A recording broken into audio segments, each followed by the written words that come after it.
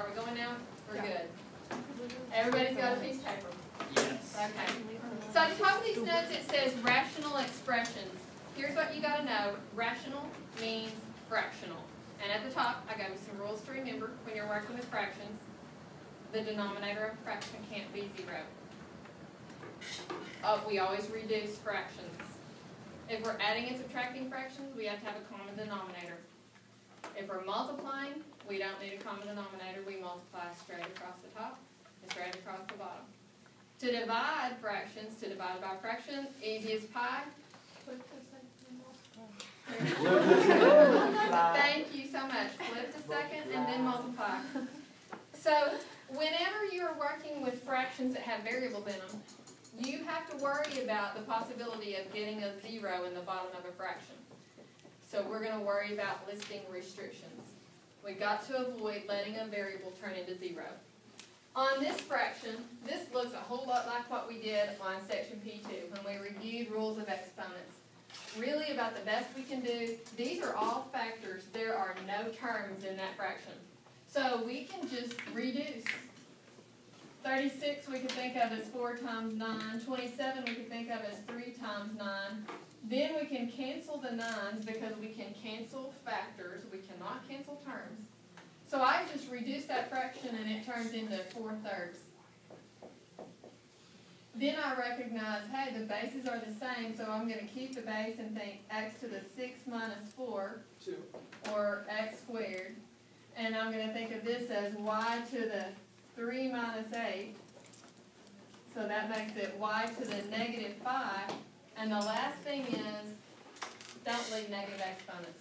So we'll have four over three, and x squared is on top. And instead of y to the negative five, we'll write it as one over y to the fifth. Now multiply straight across the top to get four x squared, and straight across the bottom to get three y to the fifth. And here is the simplified version of the fraction. When we talk about restrictions, I'm gonna come back up here and look at this original fraction. X cannot be zero, because if it is, zero to the fourth power is still zero. And zero times twenty-seven is zero. And zero times whatever this one happens to be, it doesn't matter, it is zero. And we have a zero in the bottom of the fraction, and that makes the fraction undefined. So x cannot be zero. And also, y cannot be zero. So these are restrictions. Trying to reduce fractions for right now, because this page is all about simplifying. And here's the temptation, can I cancel x over x? No. Those are terms. We cannot cancel terms, we can only cancel factors. As tempting as it is, don't cancel those. Actually, there's not anything at all we can do to reduce this fraction. But we can make a note that there is a restriction. What value of x would cause me trouble? Four. Because if we plug in four, four minus four becomes zero. So the best we can do is say, this fraction doesn't simplify, but we will make a note of the restriction, x cannot be four. We're trying to reduce fractions, because four minus four gives zero. What about? Uh, yeah, yeah, okay, I got You're good, okay. On this next fraction, um, on the top I see terms, on the bottom I see factors. If I can only cancel factors, the only possibility of being able to reduce that is to factor the top. Factoring that top is like we've just been working on in factoring. Greatest common factor, there's not one. I count terms, there are three. I first check to see, is it a perfect square trinomial? It's not. So it's one of these. We gotta play this game. We gotta find things that multiply to be negative twenty, I'm sorry, negative ten, and add to be negative three. Negative five and two. Negative five times two will do it. So then we're gonna split the middle. We're gonna rewrite the top as two x squared minus five x plus two x minus five. You agree, negative five x plus two x means the same as negative three x. I replaced three terms with four terms and now I'm gonna group. And if I group these two, there's a common x, and that lets me have two x minus five. And if I group these two, there's a common one, and that lets me have two x minus five. And then, two x minus five is common to both of these terms, factor it out. And if we take out a two x minus five, that leaves us with x plus one. So I'm gonna rewrite this fraction in its factored form. The top is replaced with factors two x minus five times x plus one. And on the bottom, I have x plus one and three x minus four as factors. And now I can cancel factors. But before I cancel the factors, I need to make a note. There are some restrictions.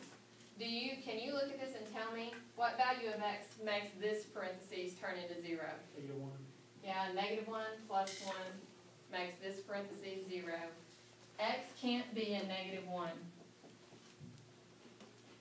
That's a restriction. There's also another restriction, because if I look at the other parentheses, I would have to ask this question. When is three x minus four gonna equal zero? When does that happen? If I add four, just solve this equation, yeah, if I add four, three x equals four, and then I divide by three, x equals four thirds. If I plug in four thirds right here, I'll have three times four thirds minus four, that's twelve, divided by three, I get four, and four minus four turns into zero. So this is a problem, it's a restriction, I have to avoid it, x cannot be four thirds, because it makes this parentheses turn into zero. And zero times, it doesn't matter what this is, the whole bottom of the fraction is zero. So these are restrictions, and then when I reduce, the reduced version of the fraction is two x minus five over three x minus four. On the next one, when you look at that, I hope the top of it, those are terms, you can't cancel terms. I hope you look at the top of that and say, well, I can factor the, the top easily, that's a difference of two squares. It will factor to be x plus three times x minus three. And in the denominator, this is another trial and error trinomial. We'd have to go through this whole process. For the sake of this video and to save time, I'm just gonna tell you. If you factor this, it will factor as x plus three times five x minus four. Do you see anything you can now cancel? X plus three over x plus three is a one. Before you mark it out so you can't see it though, um, write restrictions. What value of x causes trouble right here? Negative three. Negative three, so x cannot be negative three. If you can't see this one, ask yourself this question. When is five x minus four gonna turn into zero? What makes that happen?